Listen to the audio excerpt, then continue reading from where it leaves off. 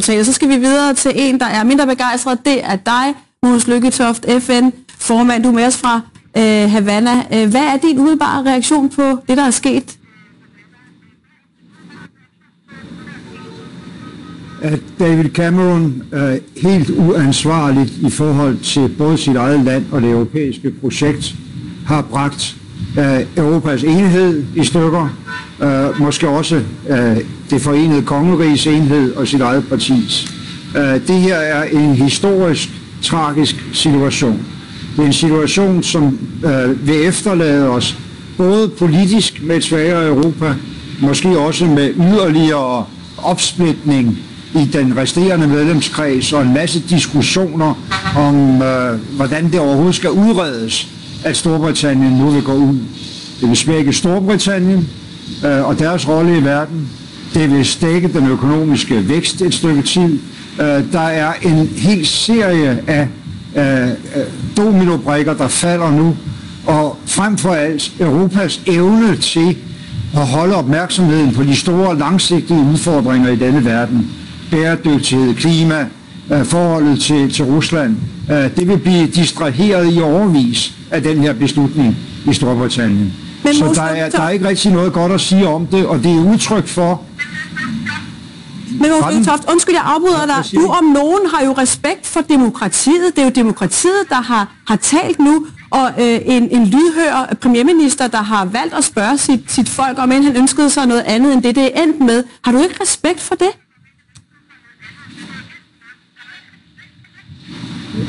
Jeg, jeg har altid været en indad tilhænger af det repræsentative demokrati.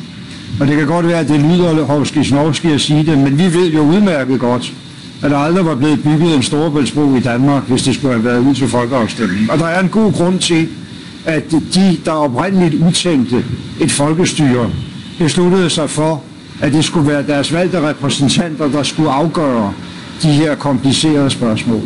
Og det, som jeg synes er så øh, rystende øh, forkert i Camerons måde at gribe det her an på, med de her, også for ham selv, katastrofale konsekvenser, det er, at han jo ikke har vist noget lederskab. Han har ikke sat sig i spidsen.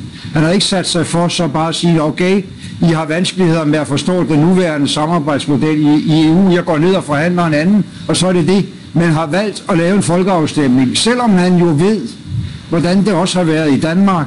Når det handler om folkeafstemninger, handler det også om alt muligt andet end lige hovedspørgsmålet, der skal tage stilling til. Men den her folkeafstemning er foregået på et tidspunkt i nyere europæisk historie, hvor kaoset ja, og frygten, fremmedfrygten, frygten for fremtiden, utilfredsheden med alting er større end nogensinde.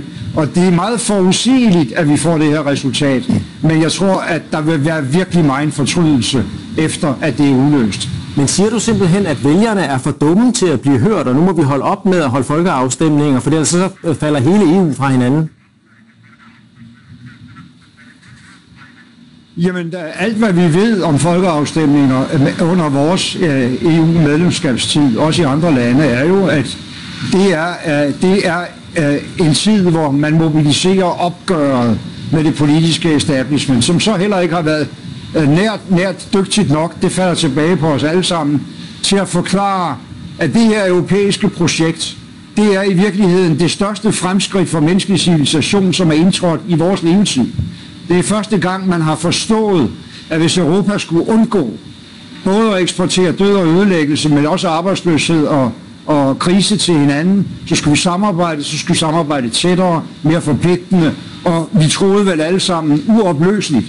Og øh, jeg synes, det der har manglet i Storbritannien, som det mangler så mange andre steder hos de populistiske kræfter, det er en form for ansvarlighed, ikke bare over for sine egne vælgere og de aktuelle stemninger, men over for et virkelig historisk projekt, øh, som vi nu har bragt i fare med det resultat, at det er et Europa, der falder i andel af verdens økonomi, falder i andel af folketal, alders, at det Europa vil have en langt mindre chance for at påvirke verdens videre udvikling, end det vi havde håbet på.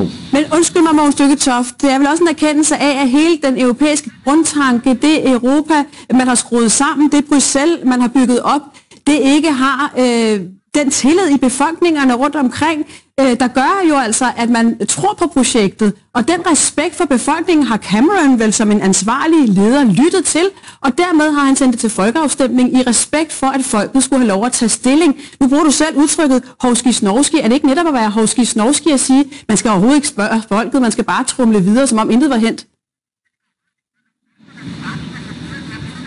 Nej, man skal ikke gå videre, som om intet var hent. Men man skal have et, en ansvarlighed som europæisk national leder overfor ikke bare sit eget folk og dets bekymringer, og det kunne han jo gå ned og, og få forhandlet, som han faktisk fik det øh, med ændringer af Storbritanniens rolle, uden at sætte hele medlemskabet på højkant, øh, som han har gjort. Og det er, det er jo udtryk for, øh, at, at hans taktiske overvejelser om, hvordan han kunne holde sammen på sit konservative parti hen over det sidste parlamentsvalg, har overskygget det langsigtede ansvar, både for Storbritanniens og Europas fremtid. Og, og, og så har vi fået det her dybt, dybt tragiske resultat, øh, som jeg tror, der vil være så meget eftertanke og bekymring over, når man får analyseret konsekvenserne. En uh, spådom her til sidst fra dig, uh, når du kigger ind i fremtiden, uh, meget bekymret, Måns Lykketoft. Tak skal du have, fordi du var med os. Danskerne har stemt